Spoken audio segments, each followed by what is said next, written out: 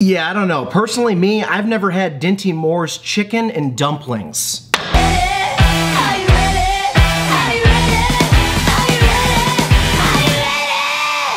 guys, hello, I hope you're well. Welcome back to Sean's First Time Eating. Today, once again, something that I've seen in the store many a time and never had. Earlier this year, I finally admitted how I didn't even know what Dinty Moore was up until real recently. All right, Dinty Moore, dumb name.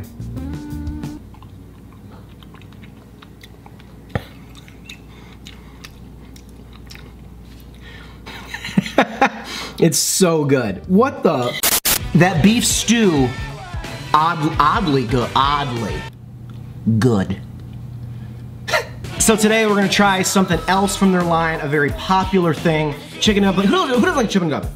Who doesn't enjoy chicken and dumplings. I know I do. I just don't know how it would be out of a can from Dinty Moore. This is a science show. This is basically the new Bill Nye. That's not true. Grow the fuck up. We're gonna go ahead on this cold Chicago day.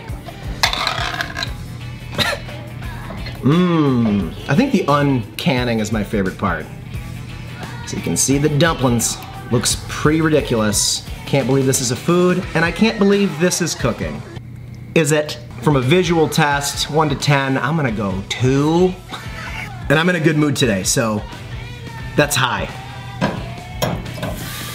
Okay, let's turn that down. Oh wow, it kind of looks like when Lionel throws up. So that's cool. Like all bile, you know? Just a real biley bitch. Grow the fuck up. And a bunch of people just clicked off this video, and rightfully so. Have some self-respect.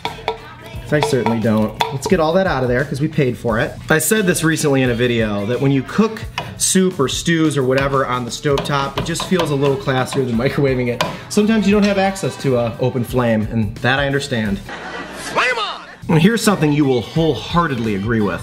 Dinty Moore's jingle, like their commercial, beautiful. Like I find myself singing it in my everyday life. Look at the beef and that gravy. This hearty meal is a real big deal.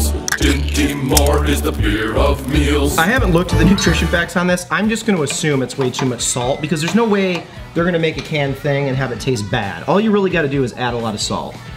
Okay, so if you eat this entire thing, it is exactly 100% of your daily allotted salt. Like 28 grams of protein though, just vein ripping proteins. Kind of looks like apple pie filling. I'll tell you what, it doesn't smell like it.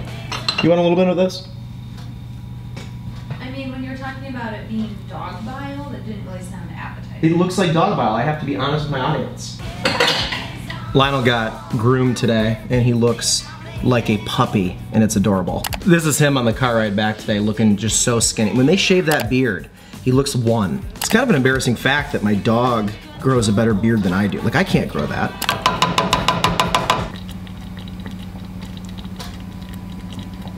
Dinty Moore, owned by Hormel, been a company for more than 80 years in America, an affordable, complete meal for hardworking Americans. Why is he eating it then? I know. Dinty Moore, the stuff that legends are made of. I don't know why I'm so obsessed with the history of foods. Smells good. I mean, chicken and dumplings, come on. My grandma was super Polish, and when she would make her dumpling soup, it was out of this world. Let's see if this brings back any sort of nostalgia. Nostalgia. Tomato. Tomato. Nobody cares, Sean. I think we're heated through. Turn off the heat. I wish it was a little thicker. okay. Give some to Allie for some reason. She got way more dumplings and chicken. Do you want any oyster crackers? Oh, yeah. Got the oyster crackers. Probably end up using those. All right, what do we think visually? I think it went from a two now to about a four. Which when I put in a little effort, that's what I end up being, from a two to a four. All right, let's get this apple pie filling. Chicken and dumplings from Dinty Moore for the very first time in my life. If you've had it, drop a comment. If you hadn't had it, drop a comment as to why, and I probably know why, but write it anyways. Cheers. Why, who am I cheersing? Yeah. Oh. That's so nice. it's like how eating Campbell's soup. It's so lame looking, but it's just the salt and the chicken flavor. It just flavor. As long as you're okay with like kind of the weirder texture of this, it's just, mm. It's so good. Like, it's obviously homemade would be way better, but this was a dollar. Change my eating habits after the new year, thank you. Ambulance. A little more crunch now with the uh, the crackies. Mm-hmm. And I give half to Allie, so that'll help with my sodium. Mm. Chicken broth, white chicken, dumplings. Love that yeast extract. Oh yeah. Also, did you guys know that Hormel Foods is based in Austin, Minnesota? The redirect! Asking seriously though, what do you think of that? Because of this vlog, I, I never would have done these things. This year, I've learned about a lot of brands that I actually really dig. And I'm actually excited to have more Dinty Moore stuff.